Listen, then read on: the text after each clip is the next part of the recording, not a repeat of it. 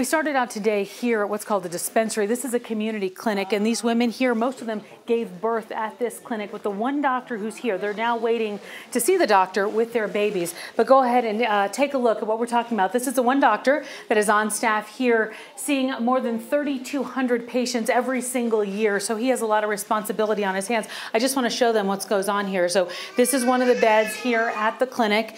And then if we go into the other room, what happens here is there's deliveries and there's also HIV treatment that goes on at this clinic. So in this room is where the deliveries happen. And on average, there are about five babies delivered at this community clinic in Tanzania every single month. I want to show you the delivery room where about five babies are born every single month here in this village in Tanzania. So first of all, this is a delivery bed where the mother comes just when she is ready to give birth. On the other side of the room, in this one room, again, a clinic with one doctor, this is the resting bed right by the window.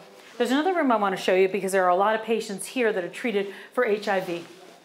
This is perhaps one of the busiest rooms here at the clinic, seeing about 320 people with HIV.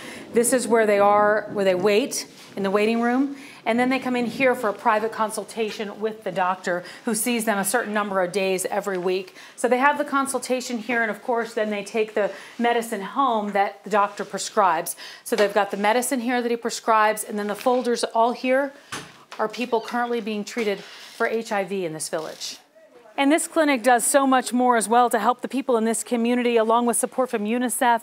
And of course, we talked about growth monitoring for children under the age of five. They work on that as well as immunizations. There are so many stories that we're going to be bringing you next week from Tanzania. Until then, I'm Tamsen Fadal.